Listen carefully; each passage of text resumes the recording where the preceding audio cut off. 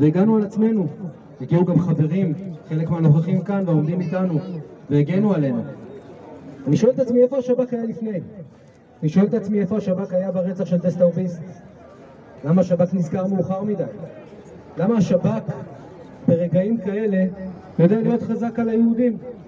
אם בן אדם מגן על עצמו, אני לא יודע מה קרה שם, אף אחד כנראה לא יודע, אבל אני רק יודע דבר אחד, שהזכויות שלנו כאנשים שמגנים על עצמנו הם הדבר הראשון. אנחנו מגנים על עצמנו לפי החוק, אנחנו שומרים על עצמנו לפי החוק, אנחנו שומרים על המשפחות שלנו, על הילדים שלנו. זה בלוד, זה ברמלה, זה בעכו. אם אדם לא יוכל להגן על עצמו בידיעה שהחוק יגן עליו ושומרי החוק ואוכפי החוק יגנו עליו, בשביל מה אנחנו כאן?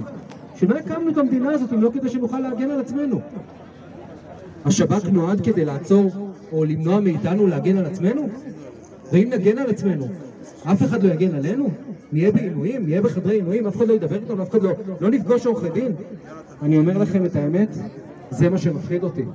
ולכן נאבקנו בלוד, אם אתם זוכרים את הירי שהיה בכיכר הפרחים, נאבקנו בלוד על שחרורם של החמישה ועל זיכוים.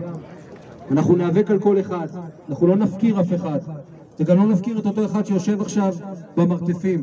אסור לנו להפקיר, אסור לנו להפקיר אותו. תודה רבה. תודה רבה.